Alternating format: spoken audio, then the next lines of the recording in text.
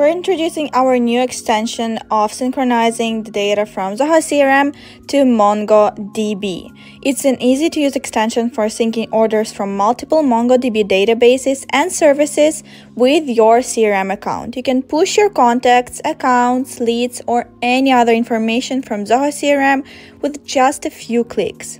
This extension works with different CRM modules as could be selected by user and automatically creates a DB structure on your MongoDB server. In this video, we will guide you through how to use the extension.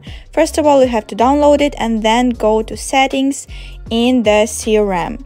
Here you have to create a new database and choose the modules from which the information will be pushed from Zoho CRM to MongoDB server. Synchronization works in both basic and manually created modules of your CRM system. You can also choose a time period of synchronizations. It can be from every 10 minutes to every 24 hours. There's also two options to connect the data. First one is using a connection link and second one is pasting the host, your username in MongoDB and your password in MongoDB. And the last step is copying the IP of the server and adding it to the whitelist in the MongoDB settings. We also have to add the address of our technical server to the whitelist of your MongoDB account for the technical functioning of our extension.